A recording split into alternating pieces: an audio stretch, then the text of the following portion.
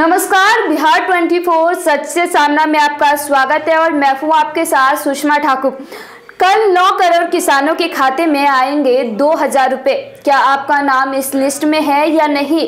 जी हाँ केंद्र सरकार 25 दिसंबर 2020 यानी कि कल 9 करोड़ किसानों के खाते में पीएम किसान सम्मान निधि की अगली किस्त जारी करने जा रही है। तो आप फटाफट चेक कर लें कि आपके खाते में ये पैसा आने वाला है या फिर नहीं। अगर लिस्ट में आपका नाम नहीं है तो आप इसकी शिकायत भी कर सकते हैं।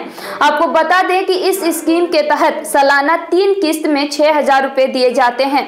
अब तक किसानों को छह किस्त भेजी जा चुकी है। पिछले तेईस महीने में केंद्र सरकार ग्यारह दशमलव सत्रह करोड़ किसानों को सीधे पंचानवे करोड़ रुपए से अधिक मदद दे चुकी है। वहीं नौ करोड़ किसानों के खाते में डाला जाएगा पैसा। इस बार की किस्त को लेकर कृषि मंत्रालय के एक अधिकारी ने बताया कि 9 करोड़ किसानों के खाते में दो हज़ार डालने के लिए सभी तैयारियाँ पूरी हो चुकी है। 25 दिसंबर 2020 को सभी किसानों के खाते में ये पैसा ट्रांसफ़र कर दिया जाएगा। आपको बता दें कि कई बार किसान इस स्कीम में अपना रजिस्ट्रेशन तो करा लेते हैं, लेकिन उनके खाते में राशि नहीं आती है। अगर आपके साथ भी पहले ऐसा हुआ है तो अब आप फटाफट ये लिस्ट चेक कर लें, इसमें आपका नाम है या फिर नहीं।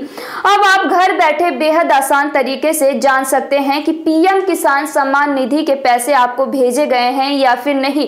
इस प्रोसेस को करने के बाद आपको पता चल जाएगा कि आपका नाम पीएम किसान सम्मान निधि में है या फिर नहीं। अगर आपका नाम रजिस्टर्ड है तो आपका नाम मिल जाएगा। अगर लिस्ट में आपका नाम नहीं है तो आप शिकायत दर्ज करा सकते हैं। लिस्ट में नाम ना होने पर क्या करें? बता दें कि कई लोगों के नाम पिछली लिस्ट में नहीं था, लेकिन नई लिस्ट में नहीं है तो इसकी शिकायत आप पीएम किसान सम्मान के हेल्पलाइन नंबर पर दर्ज करा सकते हैं।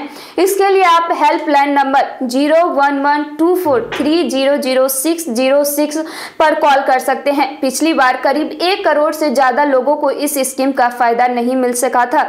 लिस्ट में नाम होने पर इस तरह करें ट्रैक। अगर आपका नाम इस लिस्ट में है तो आपको चिंता करने की बात नहीं है। लिस्ट में होने पर आप ट्रैक कर सकते हैं कि आपके खाते में पैसा कब तक आएगा। ऐसी ही जानकारी के लिए आप देखते रहिए बिहार 24 सच से सामना।